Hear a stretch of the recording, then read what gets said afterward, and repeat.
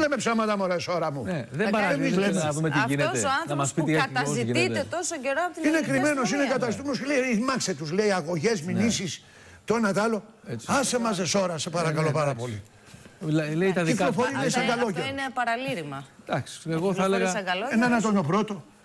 Άσε μας, σε παρακαλώ πάρα Αργά ή πολύ. γρήγορα, Γιώργο, Έχουμε σοβαρά θα βρεθεί θέματα στα να χέρια της ασχοληθούμε. αστυνομίας. Κα- κατά τα άλλα, Κανείς τι δεν γίνεται. γλιτώνει. Μια καλημέρα στον Γιώργο τον Γρηγοριάδη να μας πει και τι καιρό κάνει Ε, στη βέβαια, Θεσσαλονίκη. Καλημέρα, Γιώργο μας. Καλημέρα, Α, Γιωργάρα. Σήμερα. Καλημέρα.